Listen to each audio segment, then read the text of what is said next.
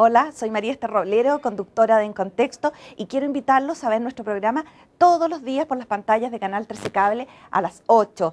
Y además a participar en nuestro blog. Comenta nuestros programas, escríbenos, danos tu idea. Todo lo que nos digas será bienvenido. No dejes de hacerlo.